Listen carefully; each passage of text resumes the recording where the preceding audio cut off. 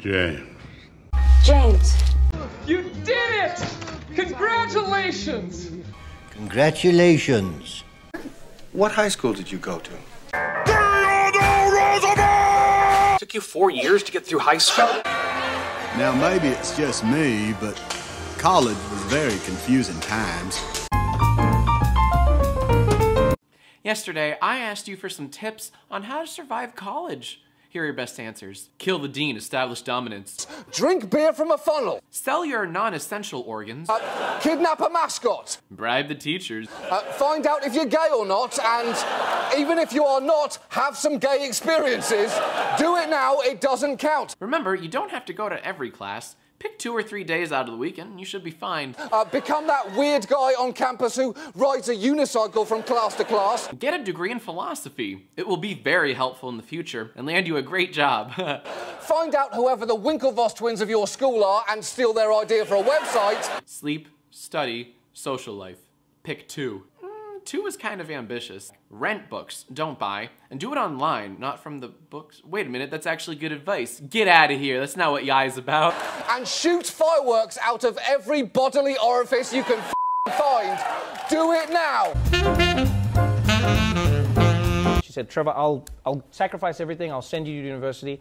You have to pay half. And I was like, okay, sounds good. And then I saw the price and I was like, this is crazy as shit. I was like, why would you send any kid to university?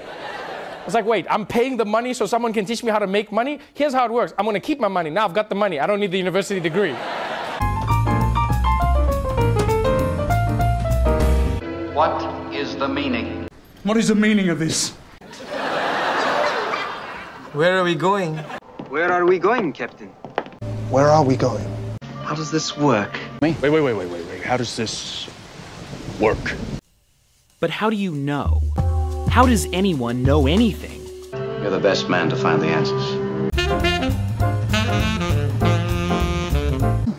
Have you given any thought to your future? Perfectly balanced, as all things should be. This is the key to the future. Yeah, it's very interesting. I might even say fascinating. But back to your mission. The future of our family will be determined in these next few months. Think about it. You can have any future that you want. You have no idea how high I can fly. Create the future. Don't worry, Mother. I'll find something useful to do with my life. Hang on, James. You're the best evil son an evil dad could ever ask for. Please make sure your college years are the best ones of your life because thanks to the debt that we are saddling you with, they almost certainly will be. Now get out there. We're all counting on you.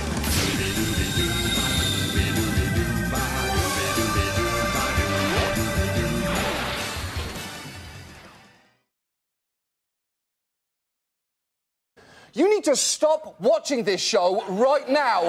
You don't have time for this. Get out there and enjoy the f out of your college experience because you may be paying for it for the rest of your life.